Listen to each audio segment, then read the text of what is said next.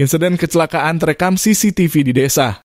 Sirih, Kecamatan Kalumpang. Kabupaten Hulu Sungai Selatan berawal dari mobil box melaju kencang di tikungan dan kehilangan kendali. Kemudian mobil box tersebut berputar dan dari lawan arah ada pengendara motor yang tidak sempat menghentikan kendaraannya saat terjadinya insiden tersebut tabrakan pun tidak dapat dihindarkan dan pemotor menabrak belakang mobil box sampai video ini tayangkan belum diketahui apakah ada korban dalam peristiwa ini.